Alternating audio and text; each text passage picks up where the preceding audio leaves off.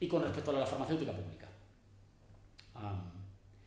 es una humillación ver cómo AstraZeneca torea un poco la Unión Europea. Incumple los plazos, no entrega las suficientes vacunas, eh, incumple condiciones del contrato. Em, la Unión Europea se puso durísima cuando hubo un gobierno patriótico y democrático en Grecia que exigió renegociar la deuda antes de que la deuda asfixiara a su país y dijo, la vamos a pagar, pero déjennos crecer un poco, porque una vaca mm, a la que se ha esquilmado del todo no puede dar leche, necesita crecer para dar leche. Pues déjenos crecer un poco porque si no, no podemos pagar. Contra Grecia la Unión Europea se puso durísima, eran los más arrogantes. Y resulta que llega una farmacéutica como AstraZeneca y se ríe de la Unión Europea.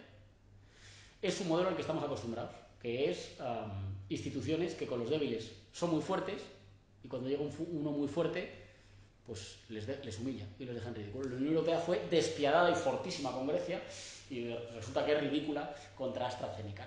Si una pequeña empresa o una cooperativa de trabajadores o un autónomo se saltara la ley, ¿qué le pasa? Que le crujen. Y si se salta la ley AstraZeneca, ¿por qué no le crujen?